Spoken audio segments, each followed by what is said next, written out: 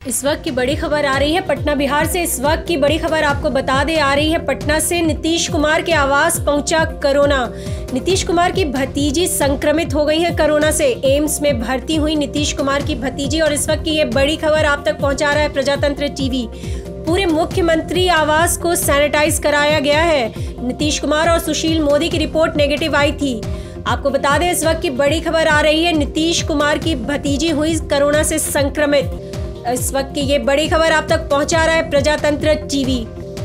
विधान परिषद के सभापति के बाद अब शपथ लेने वाले गुलाम गौस और उनकी पत्नी भी संक्रमित हुई। बिहार में अब तक 101 की मौतें हो चुकी हैं। अब तक 101 मौतें हुई बिहार में और इस वक्त की बड़ी खबर नीतीश कुमार की भतीजी हुई है कोरोना से संक्रमित। एम्स में भर्ती कराया गया है उन्हें और इस वक्त की ये बड़ी खबर आप तक पहुँचा रहा है प्रजातंत्र टीवी। और इसी खबर पर हमारे साथ हमारे सहयोगी राहुल जुड़ चुके हैं, जो कि इस वक्त मुख्यमंत्री आवास पर मौजूद हैं। राहुल, हम जानना चाहेंगे, क्या है पूरी खबर?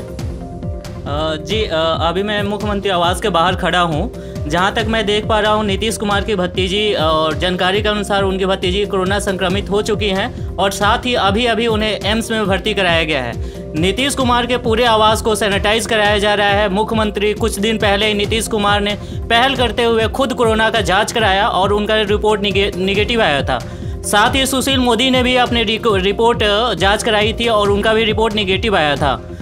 आपको बता दें कि बिहार में अब तक कोरोना से एक से एक की मौत हो चुकी है। आपको लगातार हम बता रहे हैं, प्रजातंत्र टीवी के साथ नीतीश कुमार के आवास पूरी तरह से सैनिटाइज कराया जा रहा है। साथ ही साथ उनकी भतीजी संक्रमित हो चुकी हैं और अभी अभी वो एम्स में भर्ती कराई गई हैं।